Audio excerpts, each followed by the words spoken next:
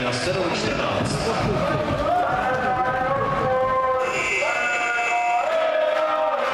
domácí střídení. Odchází s devítkou Michal Sukuba.